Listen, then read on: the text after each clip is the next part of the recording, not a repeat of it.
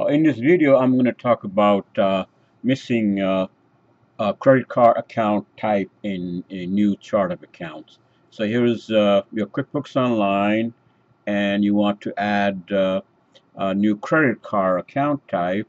But when you go to chart of accounts, you know, basically, you so go to chart of accounts and click new, and then under select category, you select bank and credit cards, right? So cash, bank accounts, or credit used by the business.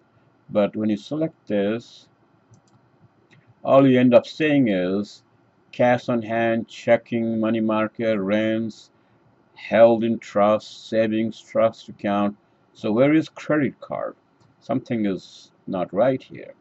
Okay, so it turns out, I'm sure they will fix this later on, but it turns out if you want to uh, create uh, a new chart of accounts, a new uh, credit card account type in this new chart of accounts, you'll need to switch to accounting view. Switch to accounting view. So right now I'm on uh, uh, business view. Probably you're on business view if you're having this issue. So just switch to accounting view So accounting view from the gear menu. So now I'm on accounting view. And if you want to switch to business view, then you can do it later on. Okay, so I'm on new uh, chart of accounts now. And th on this one, you will see credit cards on top in here, you know, right here, credit cards. Okay, so click, click credit cards. And then I already have a credit card. So if you want to make it uh, under credit card tag just select that one and tax form I don't know.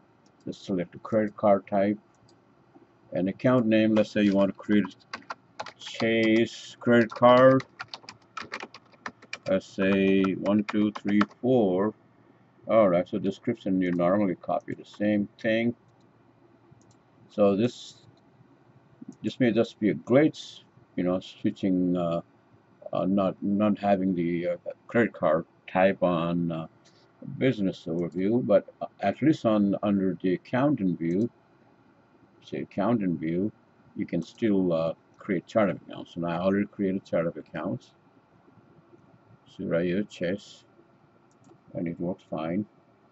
And uh, if you want to edit you can edit you know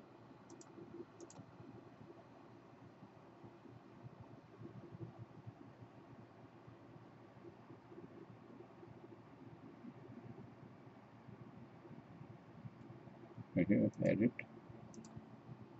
you can change the name anywhere you want it. And now if you want to go back to the business overview no problem. The count is still good but uh, see right here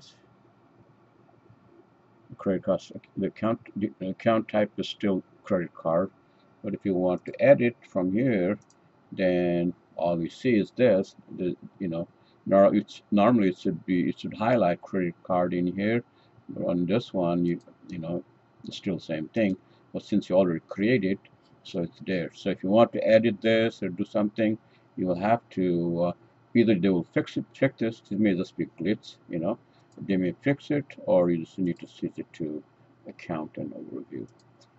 That's it. Hopefully this is helpful to you. Thank you. Bye